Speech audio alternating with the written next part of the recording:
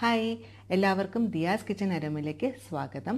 ഇന്നത്തെ റെസിപ്പി എന്ന് വെച്ചാൽ ഒരു നാടൻ ഐറ്റാണ് അതായത് നമ്മുടെ കൂന്തൽ തോരൻ. ഇപ്പോൾ കൂന്തൽ പല സ്ഥലത്ത് പലത് പറയും ചിലത് കണവ എന്ന് പറയും ചിലത് ചടയൻ എന്ന് പറയും ചിലത് ഇംഗ്ലീഷിലാണെങ്കിൽ സ്ക്വിഡ് അപ്പോൾ അത് വെച്ചിട്ടുള്ള ഒരു തോരനാണ് ഇന്നത്തെ റെസിപ്പി. എനിക്ക് തോന്നുന്നു മിക്കവർക്കും അറിയാവുന്ന റെസിപ്പിയാണ്. പക്ഷേ അറിയാത്തവർക്ക് ഒന്ന് ട്രൈ ചെയ്ത് നോക്കാം. അപ്പോൾ ഇത് കഴിക്കാൻ നല്ല ടേസ്റ്റാണ് പക്ഷേ ക്ലീനിങ് ഇച്ചിരി ബുദ്ധിമുട്ടാണ്. അപ്പം വല്ലപ്പോഴും അങ്ങനെ ബുദ്ധിമുട്ടുന്നുണ്ട് കുഴപ്പമില്ലല്ലോ അല്ലേ? അപ്പോൾ നമുക്ക് നോക്കാം ഇതെങ്ങനെയാണ് ഉണ്ടാക്കാം ഇന്നത്തെ കണവ തോരന് ആവശ്യമുള്ള ഇൻഗ്രീഡിയൻസ് എന്തൊക്കെയാണെന്ന് പറയാം. അപ്പോൾ ആദ്യം വേണ്ടത് കണവയാണ്. കണവ ചില സ്ഥലത്ത് കണവ എന്ന് പറയും ചിലയിടത്ത് ചടയൻ എന്ന് പറയും അങ്ങനെ പല പേരുകളാണ്. അപ്പോൾ ഇപ്പോൾ ഞാൻ കണവ നമ്മളെ സൈഡൊക്കെ കണവ എന്നാണ് പറയുന്നത്. അപ്പോൾ ഇത് അഞ്ഞൂറ് ഗ്രാം കണവയുണ്ട്. അപ്പോൾ ഇത് ചെറിയ പീസായിട്ട് കട്ട് ചെയ്തെടുക്കുക. പിന്നെ കുറച്ച് ചെറിയ ഉള്ളി. ഇപ്പോൾ ഈ കണവ തോരനൊക്കെ ചെറിയ ഉള്ളിയാണ് കുറച്ചും കൂടെ ടേസ്റ്റ് സവാളയെ കാട്ടുന്നത്. പക്ഷേ ഇച്ചിരി സമയം എടുക്കും. അപ്പോൾ ഇത് ഒരു പിടിക്ക് കൂടുതലുണ്ട്. ഇപ്പം നമുക്ക് ഇഷ്ടമുള്ള കണക്ക് പത്തോ പതിനഞ്ചോ ഇരുപതോ ഒക്കെ ചെറിയ ഉള്ളി നമ്മൾ സമയം അനുസരിച്ച് നമുക്ക് എടുക്കാം. പത്ത് പ്രത്യേക കണക്കൊന്നുമില്ല. ഒരു മിനിമം ഒരു പത്തെങ്കിലും വേണം. ചെറിയ നീളത്തിൽ കട്ട് ചെയ്തെടുക്കുക പിന്നെ കുറച്ച് ഇഞ്ചി വേണം കുറച്ച് വെളുത്തുള്ളി. ഇപ്പോൾ ആ ഇഞ്ചിയും വെളുത്തുള്ളിയൊക്കെ കുറച്ച് കൂടുതലെടുക്കണം നല്ലത്. കാരണം ഈ കണവയൊക്കെ ഗ്യാസിനൊക്കെ പ്രോബ്ലം വരാൻ വയറിനൊക്കെ ഗ്യാസ് പ്രോബ്ലം ഒക്കെ വരാൻ ചാൻസ് ഉണ്ട്. അതുകൊണ്ടാണ് ഈ ഇഞ്ചിയും വെളുത്തുള്ളിയും കുറച്ച് കൂടുതലെടുക്കുന്നത് പിന്നെ ആവശ്യത്തിന് കരിയപ്പില വേണം. പിന്നെ നമ്മളെ മസാലകൾ മ- മഞ്ഞപ്പൊടി വേണം മല്ലിപ്പൊടി വേണം കുറച്ച് ഉപ്പ് വേണം പിന്നെ കുറച്ച് കുരുമുളക് പൊടി കുറച്ച് മുളക് പൊടി കുറച്ച് പെരിഞ്ചീരകം പൊടി പിന്നെ കടുവറുക്കാനായിട്ട് കടുക് ഉഴുന്ന് പരിപ്പ് വറ്റൽമുളക്. ഉഴുന്ന് പരിപ്പൊക്കെ കുറച്ച് കൂടുതലിടണം നല്ല ടേസ്റ്റ് കിട്ടത്തുള്ളൂ.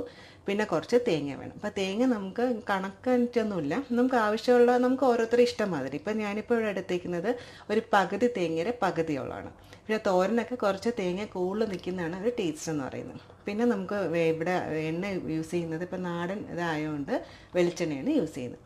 അപ്പോൾ നമുക്ക് ആദ്യം ഒരു മൺചട്ടി എടുക്കാം.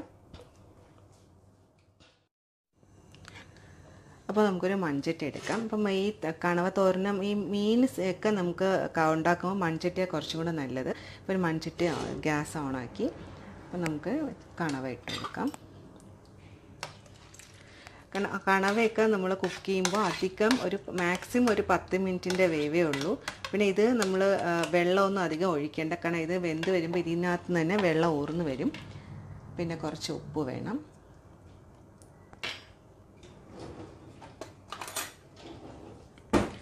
കുറച്ച് ഉപ്പിട്ടാൽ മതി. കാരണം നമ്മൾ മസാല ഇടുമ്പോൾ കുറച്ച് ഉപ്പും കൂടെ ചേർക്കാം. പിന്നെ കുറച്ച് മഞ്ഞൾപ്പൊടി വേണം. പിന്നെ കുറച്ച് കുരുമുളക്. കുരുമുളക് പൊടിക്ക് കുറച്ച് കൂടുതൽ വേണം. അപ്പോൾ ഇത് ഞാൻ കുറച്ച് ഇട്ടിട്ടുണ്ട് ബാക്കി മസാല ഇടുമ്പോൾ കുറച്ചുകൂടെ ഇടാം. എല്ലാം കൂടെ നന്നായിട്ട് മിക്സാക്കി കൊടുക്കാം.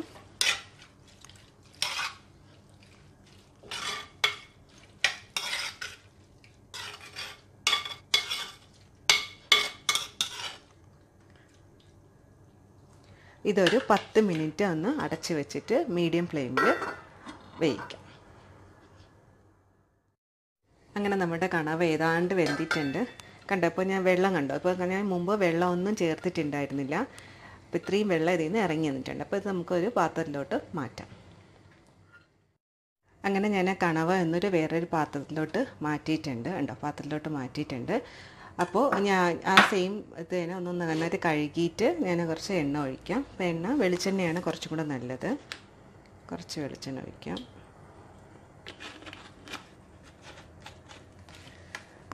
വെളിച്ചെണ്ണ ഒന്ന് ചൂടായിട്ട് നമുക്ക് കുറച്ച് കടുകും. കടുക് ഞാൻ കുറച്ചേ എടുത്തിട്ടുള്ളൂ. കടുകും പിന്നെ കുറച്ച് ഉഴുന്ന് പരിപ്പാണ് കുറച്ച് കൂടുതൽ ചേർക്കേണ്ടത്. എന്നാലേ ആ ഒരു ടേസ്റ്റിൽ കിട്ടത്തുള്ളൂ. ഉഴുന്ന് പരിപ്പും പിന്നെ കുറച്ച് വറ്റങ്ങളും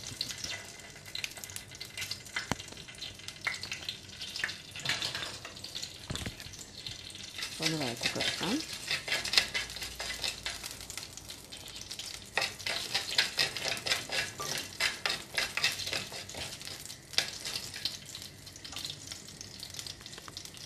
കുറച്ച് കറിവേപ്പിലയും കൂടെ ചേർക്കാം.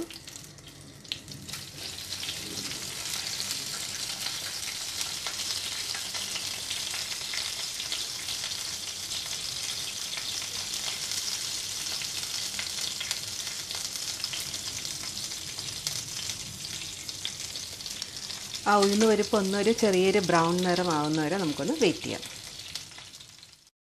ഉഴുന്ന് പരിപ്പ് ഏതാണ്ട് ഒരു ബ്രൗൺ നിറം ആയിട്ടുണ്ട് അപ്പോൾ നമുക്ക് ചെറിയ ഉള്ളിയും വെളുത്തുള്ളി ഇഞ്ചി എല്ലാം കൂടെ ചേർത്ത്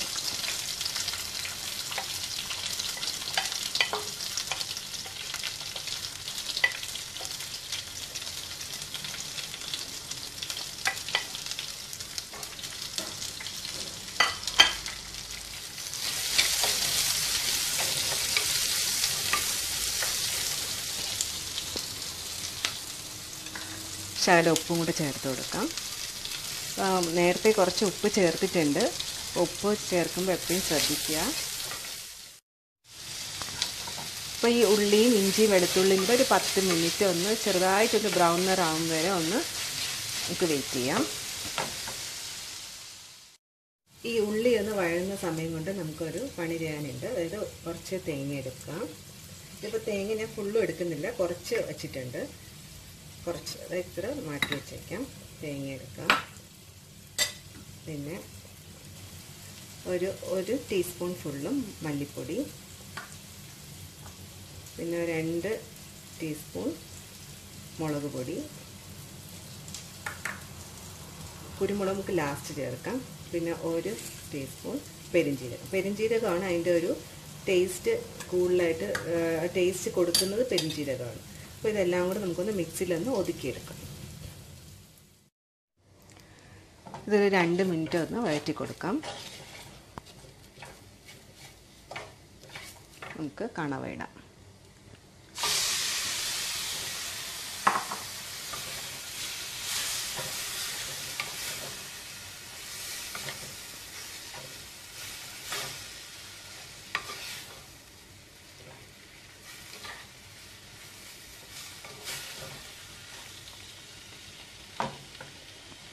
കുറച്ച് കുരുമുളക് ചേർക്കാം.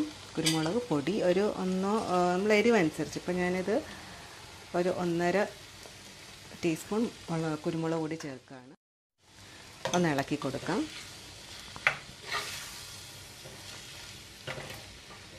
നമ്മൾ കുറച്ച് മാറ്റി വെച്ചിരുന്നില്ലേ ആ തേങ്ങയും ചേർത്ത്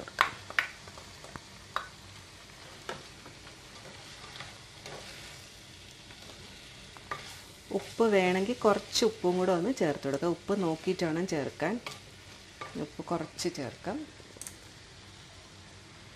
കുറച്ച് മതി.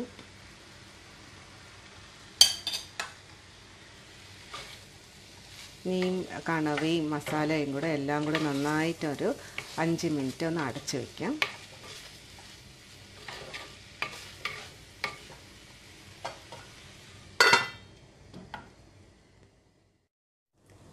ഏതാണ്ട് ഒരു പത്ത് മിനിറ്റ് ആയിട്ടുണ്ട്. നമുക്ക് ഗ്യാസ് ഓഫാക്കാം. അങ്ങനെ നമ്മളുടെ കണവത്തോരൻ റെഡി ആയിട്ടുണ്ട്.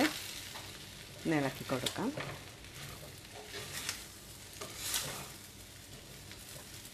ഇനി ലാസ്റ്റ് ഒരു കുറച്ച് ഒരു കാൽ കാൽ ടീസ്പൂൺ കുരുമുളക് പൊടിയും കൂടെ ചേർത്ത് കൊടുക്കാം. ഇതൊന്ന് ഇളക്കി കൊടുക്കാം.